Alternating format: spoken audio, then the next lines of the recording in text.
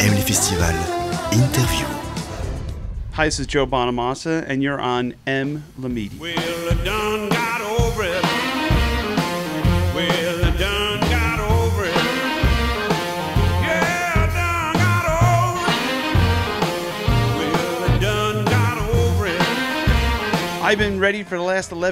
Ça fait We 11 ans que je suis been prêt. here for 11 Cela fait years, 11 ans que nous ne so, sommes pas venus um, ici. Et time c'est donc la première fois que je viens au Stravinsky, une salle légendaire et, et passionnante. And, Et vous savez, you know, c'est la troisième fois que je viens au Montreux Jazz. Et cet endroit a un tel héritage. Le regretté Claude Knops nous a emmenés ici pour la première fois en 2009. Puis, Puis on est venu en 2012 et il a toujours été d'un grand soutien pour ce que nous faisions. Il était un amoureux du blues. Et être ici avec Buddy Guy, c'est juste incroyable. C'est le mois de l'anniversaire de Buddy et je crois qu'il va avoir 87 ans ce mois-ci. Et il a encore plus d'énergie que je n'en aurais jamais.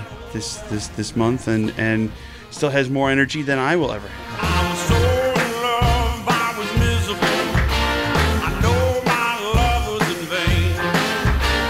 En général, la version, studio, du moins dans mon monde, ne se traduit pas par une version live. Nous la modifions toujours d'une manière ou d'une autre.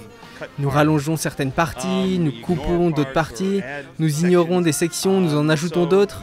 Donc Tales of Time est vraiment un bon instantané de la façon dont l'album time Time clock Clocks s'est terminé en concert.